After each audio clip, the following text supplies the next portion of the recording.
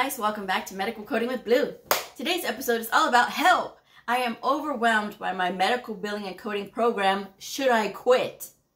If you are brand new to my channel, welcome. I am Bleu, I'm a medical coder. Okay guys, so I got a comment that I think can resonate with a lot of you who may be going through this.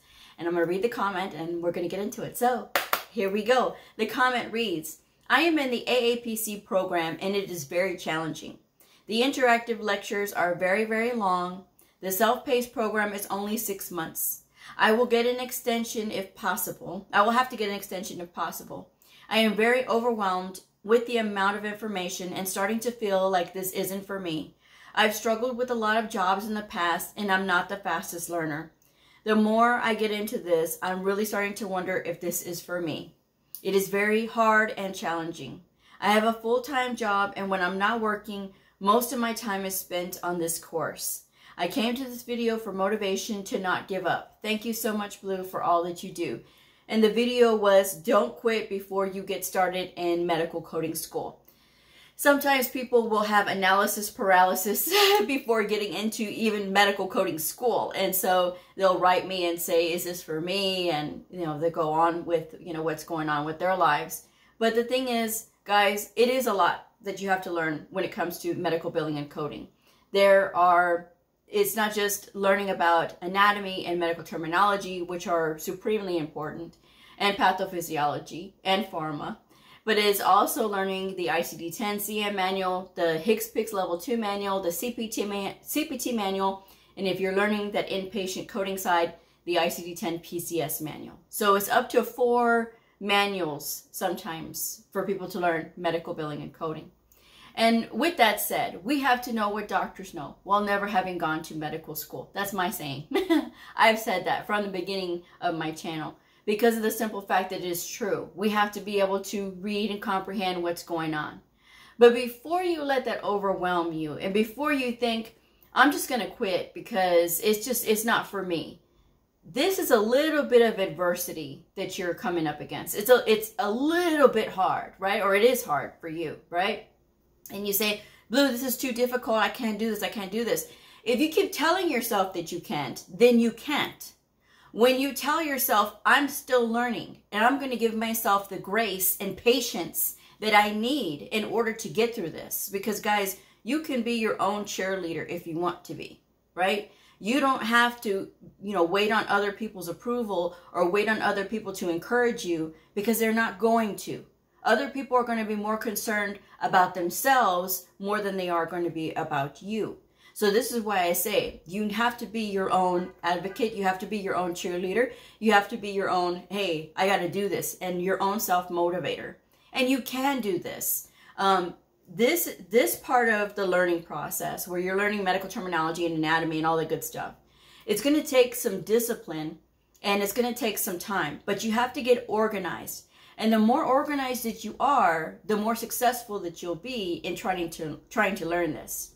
Now you if you say well Bleu i work a full 40 hour week job so do i and so do a lot of other people that have gone through this similar thing and been able to sit and pass for an examination um, for coding and then they're off and running in their new career.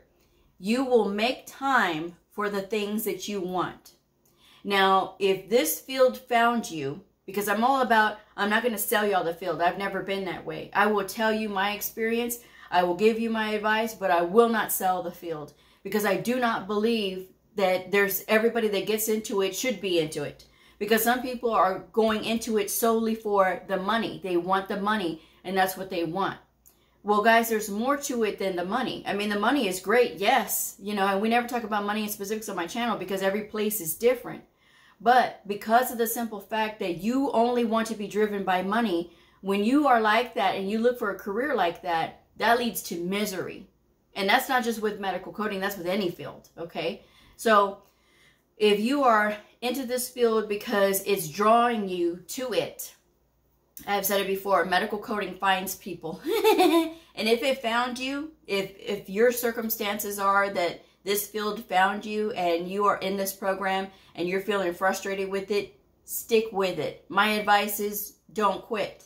Don't quit when it's so early on in the game. when it's so early on in the program. And you may feel overwhelmed.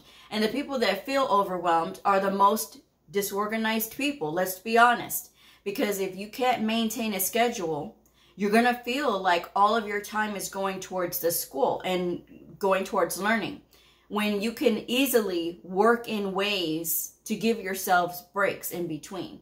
Um, I have recommended before, I have the, the study schedule out for 20 hours per week, and I did it in three different templates. And one of the templates is that you're studying for six days a week. One is that you're studying for five days a week. And one is that you're studying for four days a week.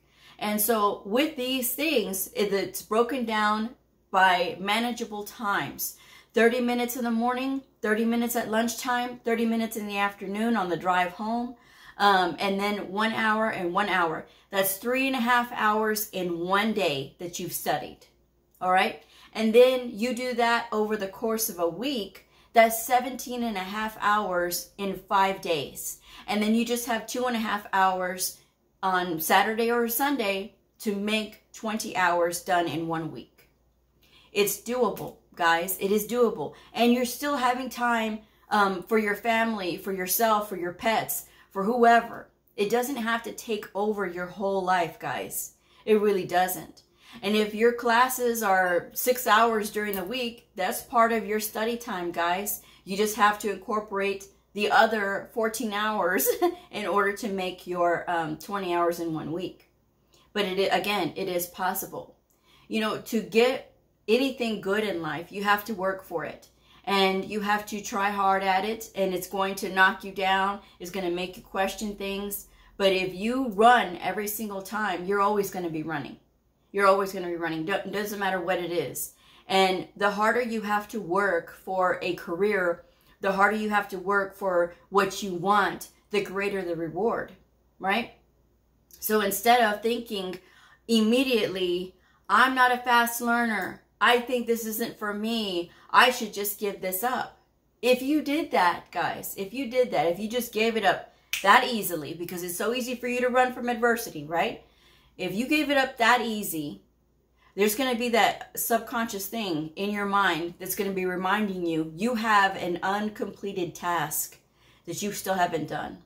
I know because I get emails from people who say, well, Bleu, I was um, wanting to learn medical billing and coding in um, 2000 and then I just gave it up because I, I let everything else get in my way. I tried to learn again in 2005. I, I let things get in my way again. But now I want to sit down and get into it because I really want to do it this time. That's almost 23 years of thinking about the same thing in the back of your mind that's uncompleted. Uncompleted. So before you put yourself through that, see the task through. Doesn't matter how much you, if you have to kick and scream, if you have to cuss some of the way, you need to finish the task. And you can work it into your schedule where you're giving yourselves breaks in between, okay? So that way you don't get overwhelmed. And as far as learning medical terminology, you're going to learn your prefixes, your suffixes, and your root words. Once you learn those, and there's it's a core of them that you have to learn, right? And it's out there, guys. I've, I've left a link so many times in the description boxes. Again, it's there.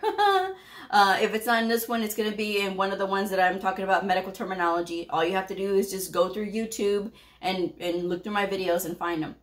But learn the prefixes, your suffixes, and your root words, and you're going to continually practice with those so that way you can build the terms instead of trying to learn whole terms. You could just piece words together, you know? And so that's a good way to learn medical terminology. And when it comes to practicing the coding, the workbooks that I recommend are again are in the description box below. And so you can use those to augment your studies like with AAPC and that you know you feel like they're just you're not learning anything.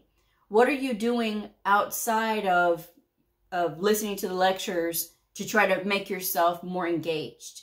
Are you watching videos on YouTube about HIPAA? There's a ton of videos on YouTube about HIPAA. All you have to do is just type in HIPAA. Type in O-N, O-N, O-I-G, O-N-G, O-I-G. You can type in any subject you want and you'll see a ton of videos pop up on YouTube. It's very easy. And no, I'm not going to leave the links, guys. I'm not doing it. Uh, because it's part of your development as a coder is to learn to do your research. And a lot of people will ask me, what is a specific link? You can look at Google, guys. It's very easy. All right. And that's the thing, guys. This, in this industry, no one's going to hold your hand. And people have different ideas and different attitudes about helping others. I do help others a lot. and because of that, you know, I want you all to learn from the things that I'm trying to show you. And if you get it, you get it. If you don't get it, I can't help you guys, right? Because of the simple fact that when you are wanting people to to just hand feed you all this stuff, it's not going to do you any favors in the real world when you're out there and you're actually having to work with people. And there's going to be veteran coders that, that are going to put you through your paces and they're going to say, well, no one taught me, so I'm not going to teach you. I don't believe in that thought process. I believe in helping others, but I also believe in the old expression is uh, if you teach a man to fish, you feed him for a lifetime. Or if you give a man a fish, you feed him only for a day. Let me say it again. if you give a man a fish, you feed him for a day. If you teach a man to fish, you feed him for a lifetime. It's the same thing, guys. Okay? So, uh, I want you guys to learn to fish. uh, you know, just the saying, but you know, learn to fish so that way you can help yourself. Learn to organize your schedule so that you don't feel those overwhelming feelings and that you feel like you're going to run. Because if it's so easy for you to run right now, I hate to see the time when you're going to go and you're going to start studying for your exam. And then I hate to see the time when you start going out there looking for your first job and you're getting all those no's. There's a lot of people that are going to tell you no in the beginning as a brand new medical coder. Doesn't matter if you have a CPC with no A, um, if you have no experience, because there's a way to get your CPC without the A, right? And when you do, you still have no experience. So if you have no experience, how are you supposed to get a job if no one will hire you? It, again, it goes back to the advice that I've given before, which is you have to be persistent and you have to still apply. And a lot of people get fixated on only wanting to apply for entry level positions, which is uh, like a doom for uh, new medical coders because once one person, one employer puts up this is an entry level job, there's going to be thousands of people applying because they were looking for those entry level words rather than just getting out there and still applying anyway for medical coding positions, even though they're requiring or asking for three to five years of experience. You're still a medical coder. Anybody in that area that is happy as a medical coder who has experience is going to stay where they are. And so that employer is going to have to hire who's ever applying, right? And that could be you, you know, if you go out there and you start applying. Okay. And again, it's the same thing for when you're in school. You have to stick with it because there's going to be times when you're going to be confused. You're going to ask the teacher for help. The teacher's not going to be so nice to you. And, or maybe they're going to explain it in a way that doesn't make sense to you. So then you need to seek out a mentor or seek out a tutor. Now, a tutor you'll have to pay for. A mentor is free, but a tutor you'll have to pay for. And sometimes it's worth it to put out a few bucks so that you can understand um, what the what's going on with um, the coding and what's going on with this particular subject or that particular subject. Because sometimes that's what happens. I mean, people get into that hamster wheel of not wanting to ask for help. And that's that's again part of being a good student is you have to talk to the instructor. If it doesn't work with that instructor, then you you need to find other ways of learning whether it, again whether it is going through a mentor or going through a tutor. You know somebody that can help guide you along the way you know is going to be your best bet. So um i i always tell people if you're going to do anything don't quit. I mean you may as well see it through because again subconsciously it's going to bother you the whole time that you don't complete it right if you don't complete the task it's going to bother you until you complete the task and I I would not want something that heavy on my heart to be that way, to be thinking about all the time, you know. And when you look at having a career that's worthwhile, you know, people can have jobs all the time. And jobs being I go here to collect a check and go home. Um, this is where I make my money and, and I go home. There's not, not everybody gets that, that warm fuzzy feeling when they go to work and where they don't feel like they're working, right? I get that feeling when I go to work that I don't, I'm not working. This is, this is fun for me because I love what I do. And, you know, that's, that's a passion for me. And for me, when I think about that, I'm like, oh, okay. uh, I'm incredibly lucky to have that feeling where I don't, I don't have to work. This is not work to me. This is, this is what I do. And not everybody gets that. Some people insist on that they'll be happy once they retire. But you know what happens when you retire is that you know, do you want to go through all this again? Do you want to start learning? And some people do. Some people say, well, I gave my career to all this and now I'm going to do something for me. And this is going to be this medical billing and coding. And that's what they get into. And they, they get into it. They fall in love with it. They stay focused on it and they don't listen to the naysayers. They don't listen to the other people that are out there trying to talk as if they know things. When I look at some of these comments, sometimes I, I see the things that they're saying that the people are saying. I'm like, they they're not even coders that are saying these things to these people that are trying to be coders. So don't listen to people who are not on your same path, right? Don't listen to people that are not on your same path, even though they may think they know everything. They don't. Unless they are a medical coder themselves, you're you're listening to false advice, right? And you know, so people may be their heart may be in the right place, but at the same time, when you think about it, um, your career, your life, your journey is yours and yours alone. No one else is responsible for your happiness. No one else is responsible for whether or not you get it or not. Only you are. And you have to take responsibility for that. And once you start taking responsibility for that, then things can change. You'll see things start to change. You'll see yourself start to develop as a more stronger personality, a stronger coder, you know, somebody who's a really good student. And that's where it all starts because it's not just in while you're in the school, it's also when you get out into the real world, you still have to continue to be a good student and you can't fall into those feelings of, oh my gosh, I'm so overwhelmed all the time because you're going to be overwhelmed when you get out in the real world. But it's about how you manage those feelings and how you manage to think about and plan and organize your thoughts. Planning and organizing your thoughts when it comes to learning is actually easier than you think. You start off with a piece of paper. You start listing all the things. You make two columns, right? One column is things that you do know, that you do understand. And then the other column is the things that you don't understand, the things that confuse you, whether it's medical terminology, evaluation and management coding, any of those things uh, maybe some of the specialties, cardio, ortho, neuro, any of those. You start making a list of all the things that you don't know. Then you can see what you know and what you don't know. Then you can start checking off those things by concentrating on that I don't know list. Looking to see how can I find out more about this subject? How can I work on getting myself better with this subject? And then you move that over to the things that you do know once you feel like you have a good understanding of it. But again, guys, no one's going to hold your hand through this process. And no one will tell you, oh, this is how you've got to do it. I've tried. I've tried to do that. And I don't know. It just doesn't seem like it, it, it registers sometimes, guys. But I want you all to understand that when you're in school, these feelings are normal. They are going to happen. But it is not a reason or an excuse for you to give up your journey and, and all the things that you've put into this because I certainly would hate to have wasted thousands of dollars trying to learn something just to give it up when it gets a little bit hard. Sometimes you have to figure out ways of coming up with a different approach to your learning. If a workbook is not working for you, then you need to try videos. Then you need to try pictures, something that will register with your memory and register in your mind. So that way it can be easier for you to learn.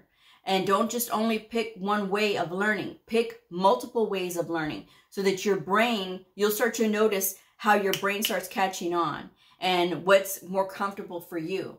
And also this, not everything in this industry is exciting, okay? The guidelines are very confusing the way they're written. And yes, they're not written in the most um, colloquial manner. but it doesn't mean that you have to dismiss them because they are very important. So it takes time to learn and understand them, but it's going to take you just reading through them, even though you don't understand what it's saying. Read through it until you do start to get it when you're in the real world. When you're in the real world, you will start to understand what those things mean. Then it's going to be a lot easier for you. But if you're not working on that right now, guys, that's where you got to start. Either listening to the guidelines, reading the guidelines, something, okay? But do not give up. Don't give up on your dreams. Don't give up on your plan. Don't give up on your idea. And don't let anybody else make you feel like you're stupid for doing it because they don't know. And sometimes they would never, ever be able to do something like this. There's a lot of people that try to discourage adults from getting into something that's going to better their life because they feel a little bit of jealousy. It happens, guys. Even the people that are the closest to us can do this to us, right? Whether it is a loved one or even a parent. I, I heard that when I was in school. Um, there was some ladies that would say, oh, my mom said that she doesn't think that I could do that. I'm thinking, that's so horrible to hear. Or my old man, like their husband, my old man says that he doesn't think that I'm smart enough. Why would you discourage people like that? But there's people that do do that, guys. And, and for whatever reason, that's their problem, not yours.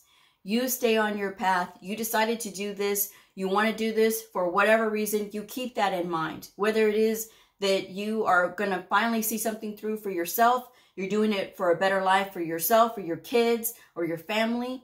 That's what you need to keep in your mind when you start to feel those feelings of, I think I want to give this up. Don't you dare give it up. Okay. You keep going. Even if you have to cuss out loud, you keep on going because again, no one's going to hold your hand through this whole process because when it scares you off, it's going to scare you off. And if you run off from it, then that's, I mean, it, it probably wasn't for you anyway.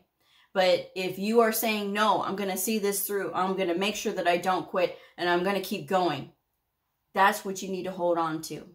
Why you're doing it. For yourself or your family or whoever.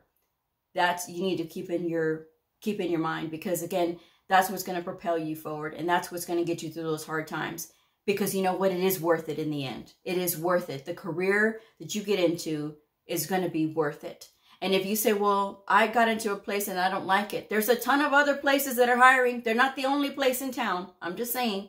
So again, that's just my advice anyway, guys. Uh, I'm not here to sell the field, but I am here to tell you that if you're thinking of just a little bit of adversity and this is why you want to quit, I'm telling you, don't quit. Don't quit. See it through because you're already in it. You already spent your money or you signed on that dotted line. You're going to be responsible for that money. See it through. Don't let one little incident run you off from a life that could be so wonderful and so fulfilling. Don't run away from it just because you're scared or just because you feel overwhelmed. An overwhelming feeling is just temporary. It will go away once you keep head on with it and you see it through. That's just my advice anyway. So with that said, I'm going to go ahead and wrap this one up. Best of luck to you on your journey. If this video helped you, please like, subscribe, and share. And I will see y'all next time. Bye.